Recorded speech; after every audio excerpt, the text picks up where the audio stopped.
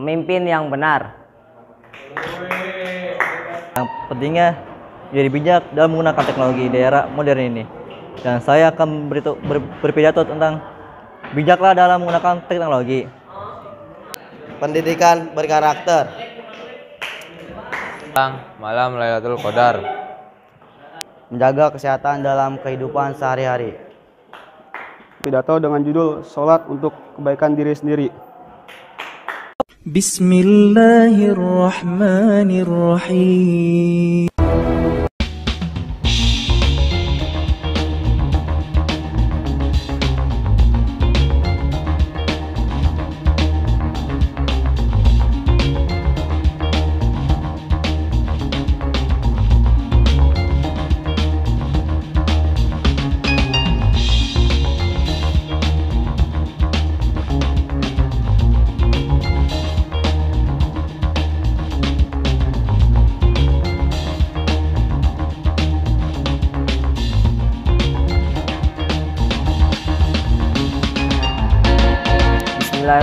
Bismillahirrahmanirrahim. Assalamualaikum warahmatullahi wabarakatuh. Merdeka.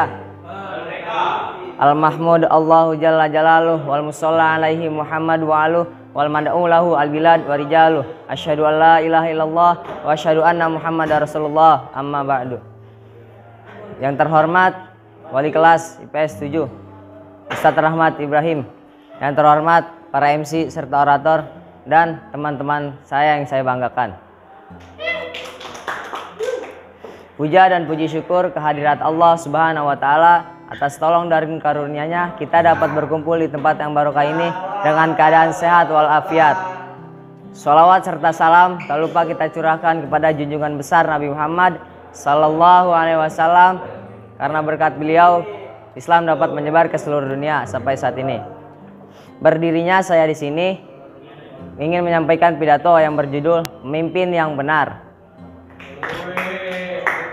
Dari kpk.go.id menjelaskan bahwa memangku jabatan sebagai pemimpin itu berarti sudah mem, sudah berani me, apa, menggunakan amanat yang dipertanggungjawabkan.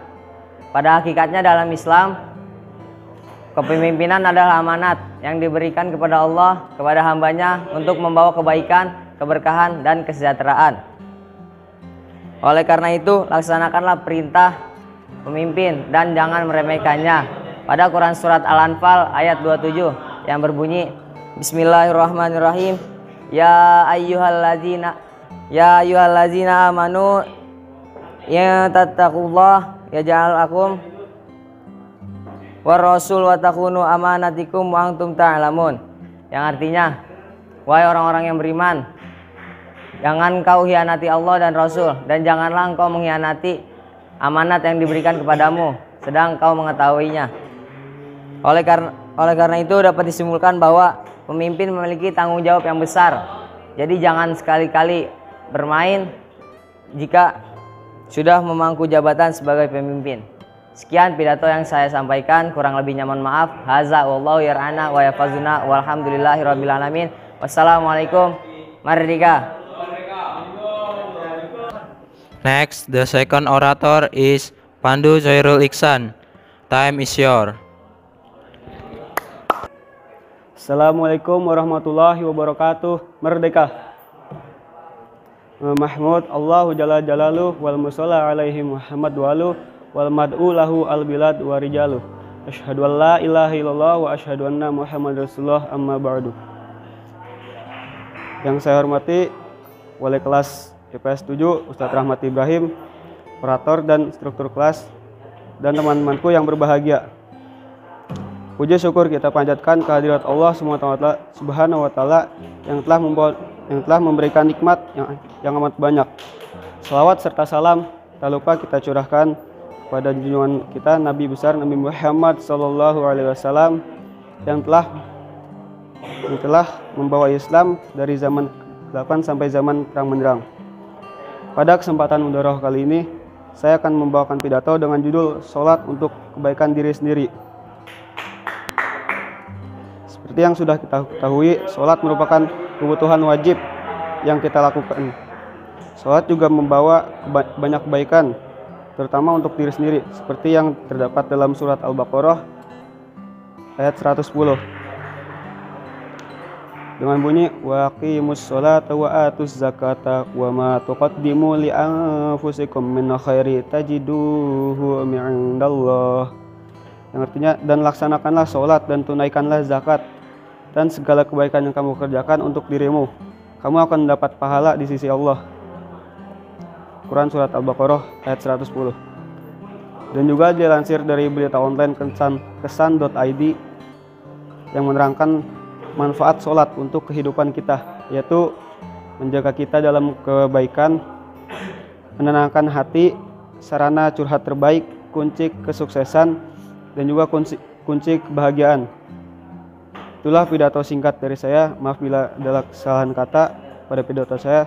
Sekian, Alhamdulillahirrahmanirrahim. Assalamualaikum, merdeka. Next, the orator Ryan Arkan. Time is yours. Bismillahirrahmanirrahim. Assalamualaikum warahmatullahi wabarakatuh. Merdeka. Al Mahmud Allahu Jalla Jalalu wal Musola alaihi Muhammad walu al madulahu al biladu warijalu asyhadu an la ilaha illallah wa asyhadu anna Muhammad Rasulullah amma ba'du. Yang terhormat wali kelas 11 IPS 7 Ustadz Rahmat Ibrahim, yang terhormat ketua kelas serta teman-temanku yang berbahagia. Puji syukur atas kehadirat Allah Subhanahu wa taala yang telah memberikan kita nikmat kesehatan jasmani maupun rohani sehingga kita bisa berkumpul di acara muadoro pada pagi hari ini. Salawat serta salam kita tak lupakan kepada junjungan kita Nabi besar Nabi Muhammad SAW yang telah memberikan yang telah membawa kita dari zaman kegelapan hingga zaman terang menerang. Pada kesempatan hari ini saya akan berpidato yang berjudul kesehat menjaga kesehatan dalam kehidupan sehari-hari. Menjaga kesehatan dalam kehidupan sehari-hari salah satu bentuk menjaga kesehatan yaitu dengan tidak membuang sampah sembarangan.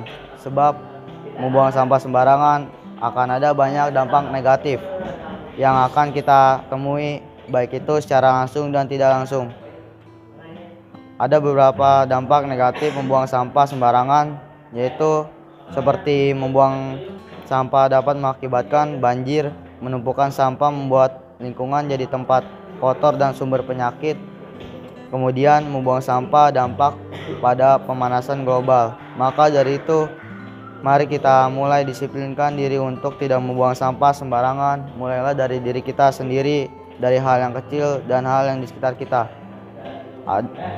Terdapat dalam surat Al-Maidah ayat 88 Bismillahirrahmanirrahim. Wa kullu mimma razaqakumullahu halalan tayyiban wattaqullaha allazi antum bihi mu'minun.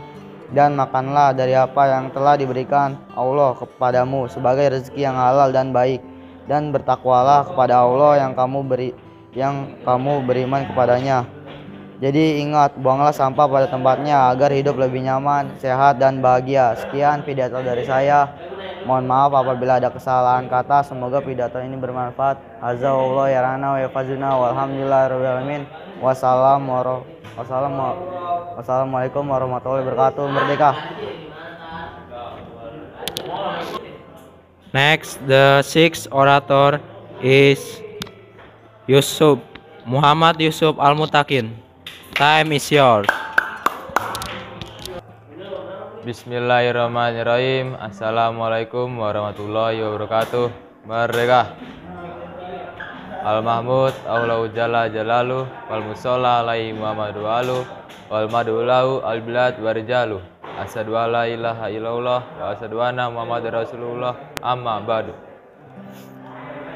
Yang saya hormati Wali kelas 11 IPS 7 Ustadz Rahmat Ibrahim Dan saya hormati MC dan orator serta teman-temanku yang berbahagia. Puji syukur kita panjatkan kehadirat Allah Subhanahu wa taala yang telah memberikan nikmat yang amat banyak. Salawat serta salam tak lupa kita curahkan kepada junjungan kita Nabi Muhammad Shallallahu alaihi wasallam yang telah membawa Islam dari zaman kegelapan sampai zaman terang benderang. Pada kesempatan Muadaro kali ini, saya akan berpidato tentang malam Lailatul Qadar. Seperti yang sudah kita ketahui, Lailatul Qadar adalah malam yang sangat mulia. Karena malam itu Allah Subhanahu wa taala terangkan dalam Quran surat Al-Qadar sebagai berikut. Bismillahirrahmanirrahim. Inna anjalnahu fi lailatul qadar. Lailatul qadari khairum min alfi syahr. Tanazzalul malaikatu warruhu fiha biidni rabbihim min kulli amr. Salamun hatta matla'il fajar. Dan artinya, sungguhnya kami telah menurunkan Al-Qur'an pada malam kemuliaan. Dan tahukah kamu malam kemuliaan itu malam ke, malam kemuliaan itu lebih baik dari seribu bulan.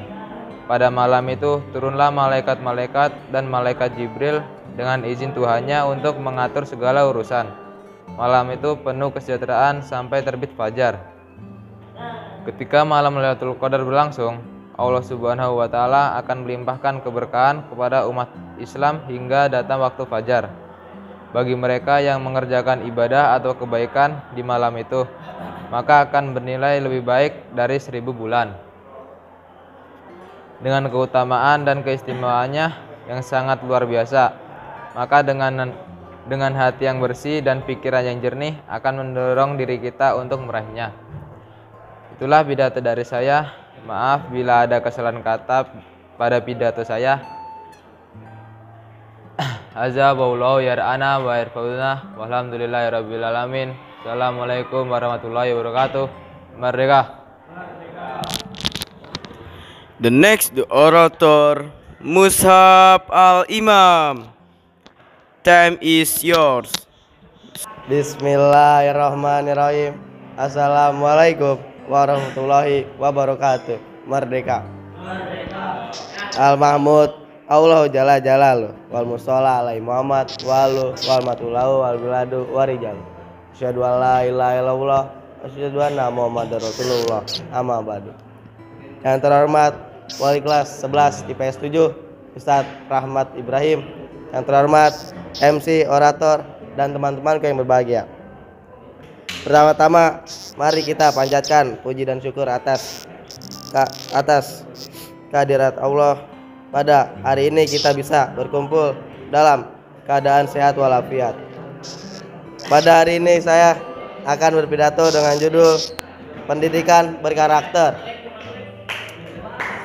Saat ini generasi muda tengah menghadapi persoalan serius, yaitu menurunnya nilai moral dan karakter mereka. Para generasi muda sudah terpengaruh oleh gaya hidup hedonis serta mengabaikan nilai-nilai maupun norma di masyarakat.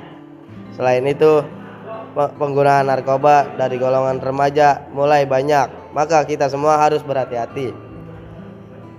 Bahkan ada yang meninggal dunia akibat penggunaan obat-obatan terlarang. Maka dari itu kita semua janganlah menyentuh apalagi mencobanya. Demikian pidato dari saya. Azza wa ya rana wa irfazna walhamdulillahirabbil alamin. Wassalamualaikum merdeka. Next, the last orator is Muhammad Torik. Time is your. Bismillahirrahmanirrahim. Assalamualaikum warahmatullahi wabarakatuh. Merdeka. Al Mahmud Allahu ya jalla jalalu wal musola alaihi ulahu wal biladu warijalu.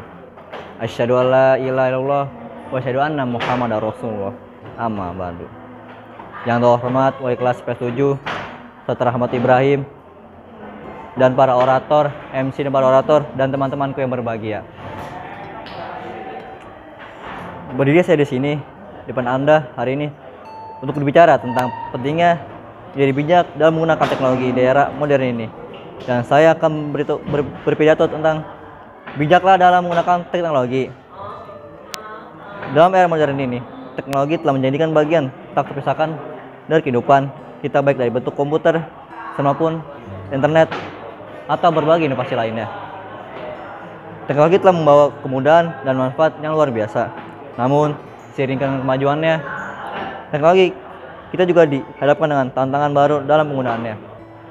Oleh karena itu, kesempatan kali ini saya ingin mengi- mengingatkan kita semua tentang bijak dalam menggunakan teknologi dan mari kita menunjuk pada Al-Quran sebagai pedoman yang sempurna.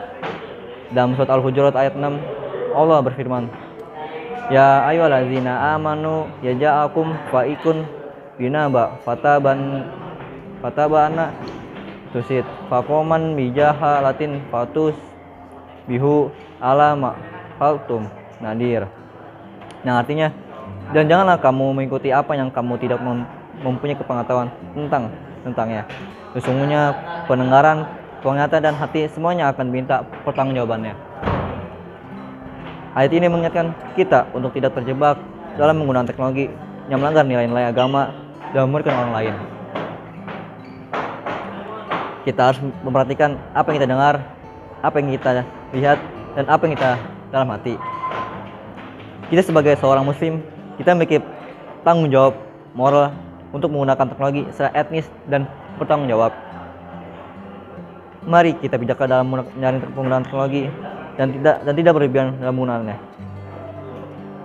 Akhir kata, ma- mari kita mohon pada Allah Subhanahu wa taala agar agar kita memberikan kebijakan dan tunjuk dalam penggunaannya. Sekian walhamdulillah. Assalamualaikum merdeka. Finally, we come to the end of agenda. Before we before we closing, please give suggestion to write and comment below. So let's close our agenda. Say hamdalah.